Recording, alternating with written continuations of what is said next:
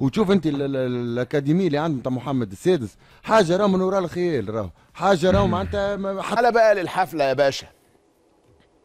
حفلة بالزاف. مزيان بالزاف. كان نفسي والله أحط لهم أغاني مغربي وأعمل لهم كل حاجة جميلة. إخواتنا الأعزاء في المغرب. إيه الحلاوة دي؟ إيه الجمال ده؟ إيه الروح دي؟ إيه الإصرار ده؟ المغرب يصنع التاريخ مرة جديدة ليصبح أول فريق إفريقي وعربي يصل للمربع الذهبي ونصف نهائي كأس العالم ويفوز على بورتوغال رونالدو وبيبي وراموس 1-0 أنا كنت واقف على السرير. على السرير. جالي إحساس فجأة إنه البلد اللي بتلعب دي المغرب دي ممكن تاخد كأس العالم. طبعا هتقولوا ببالغ بس الفرقة كانت عبقرية. الفرقة كانت مذهلة. الناس مسيطرة على الماتش من أول دقيقة لآخر دقيقة. يعني ما تقدرش تقول إيه زي ما حصل مثلا في ماتش اليابان زي ما حصل في ماتش السعودية إنه كان في فرقة مسيطرة وخسرت. لا هم مسيطرين وعدالة السماء نزلت في الدوحة والمغرب كسبت. أداء مرعب. الله يهدي الله يهدي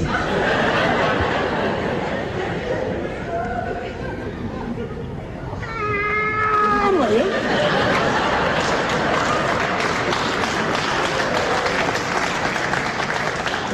رجع شنو قال عبد الستار؟ قال قادرين نوفروا حتى 15 ملعب. مادام هي فما آه، سياسة الرياضية نتاع المغرب. معناها لهنا آه، مادام لقجع يعمل déclaration كيف هكا فما الإمكانيات برشا ثقة برشا ثقة محطوطة. الإمكانيات إيه. الكل باش المونديال ينجح. والافتتاح هذايا آه، متحف الكرة المغربية تم تشييده وافتتاحه آه، مؤخرا الفيديو هذايا بعثنا الناطق الرسمي باسم الجامعة الملكية المغربية صديقنا سي محمد مقروف نسلموا عليه برشا شوف التثمين ممكن إنجازات الكرة المغربية ومتحف وهيلمان كبير خالد شوف تعليقك على ال- على تشييد وافتتاح ال- المتحف هذا. حاجة معناتها باهية برشا طيارة ونعرفوا نحن ال- الإمكانيات راهو يمين الامكانيات عندنا إحنا. رانا خالد هكا شعان كي تدخل fédération مش تلقى الكواتروات. عبد الستار أنت ما- ماشي برشا في سنين تضمار الأيامات هذه. ولا لا عبد الستار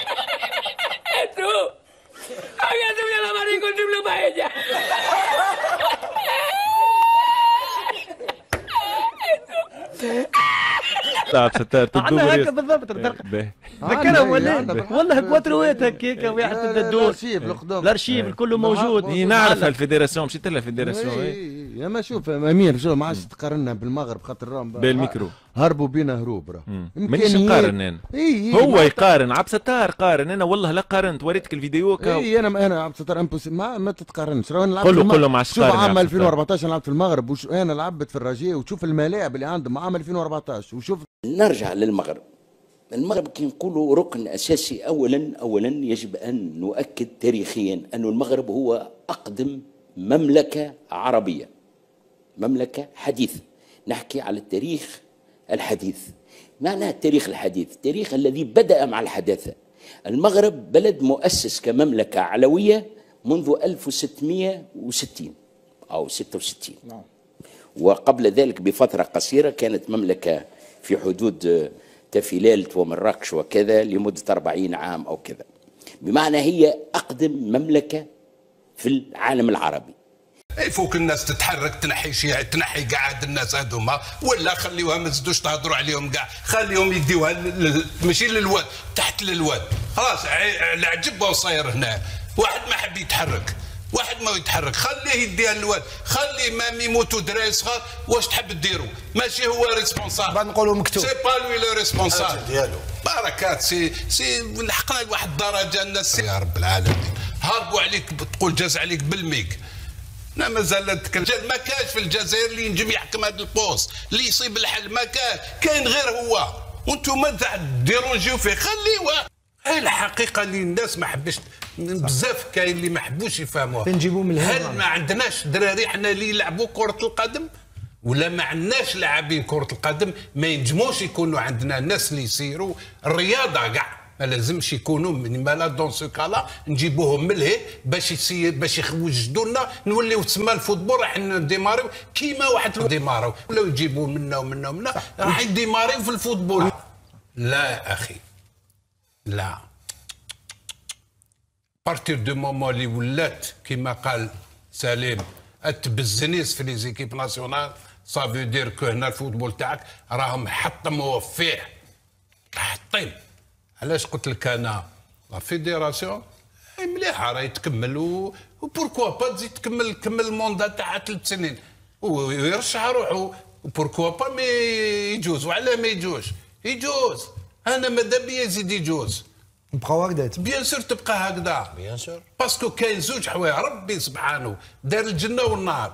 ما دارش هكذا كروازيا ولا دار طريق وطريق. حبيت النجاح هاي ليك حبيت هنا في. الفوتبول كيف كيف؟ حبيت تنجح تحط لي. منتخب شبح شاهدنا لقاء على الأعصاب.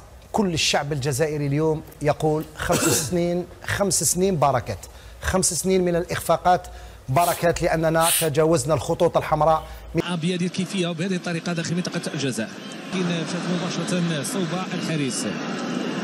الياس بن صغير نجمونا كونفرنسي مهاجم اللي عنده في البطولة الفرنسية. آه، سهول ديال ال- ال- ال- المباريات تامه سجل هدف وعنده امكانيات ديال الارتقاء أكثر.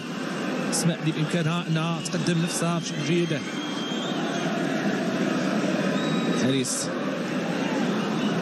كره من جديد للمنتخب الأنغولي. لأنه آه، في الدقائق الأخيرة بدينا كنشوفوا الدفاع المغربي آه، بناء إلياس. إلياس آه، بن صغير تمريره عرضية. بعيده مباشرة إلى خارج الخط الجانبي الملعب تماس لصالح المنتخب الأنغولي.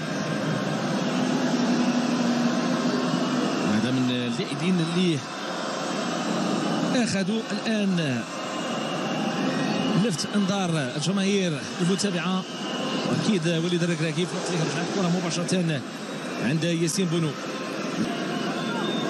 الكعبي كانت بامكانها انها تقدم الإضافة المطلوبة. عز الدين ملاحي نجم اولمبيك مارسيل الفرنسي لاعب وسط الميدان غفيرة جدا بحاجة إلى هنا الملعب الكبير مدينة أكادير لمتابعة هذه المقابلة. انطلاقة هجومية بالجهة اليسرى إلياس بن صغير كيحاول يمر من الجهة اليسرى ذكريات بوفال هذا محاولة من جديد في الخط الأمامي إمكانية ديال التسويب ترجع من جديد مغربية. ما خرجاتش. كرة بهذه الكيفية. محاولة من جديد. الجهة اليسرى انطلاقة بهذا الشكل محاولة ديال المنتخب المغربي إلياس بهدوء رجع الكرة ديالو. إبراهيم اختراق أمام جوج لاعبين. مازال كيحافظ على الكرة ديالو. السلوك ديالو الطريقة ديالو. كيفاش أن الكرة كتكون لصيقة بالقدم. بواحد الشكل ممتاز. كرة ممتازة للهدف. كرة ممتازة لتسجيل الهدف. كعبي ضيع ما لا يضيع في لقطة جميلة جدا. في محاولة كان بإمكانه أنه يضعف المرمى. زياش. عمليه ديال المرور في آخر المطاف كترجع من جديد مغربية. سفيان مرابط. لعب الكرة ديالو مع اناحي أخذ ورد في خط الوسط. مرة ثانية. حاول الجهة اليمنى. زياش. يلعب كرة مع حكيمي. لاحظوا الهدوء بناء العملية الهجومية كرات القصيرة بين اللاعبين ديال عسين اناحي اللي كيتمكن من الكرة. الياس صغير ينطلق خط الوسط البحث عن المسانده صعود ديال يحيى عطية الله في الجهة اليسرى ولكن آه، نيف أكرد يفضل الجهة اليمنى اللي فيها حكيم زياش. حاول يحصر الكرة. أمير ريتشاردسون رجع الكرة ديالو خلفه تحضير من جانب نيف أكرد.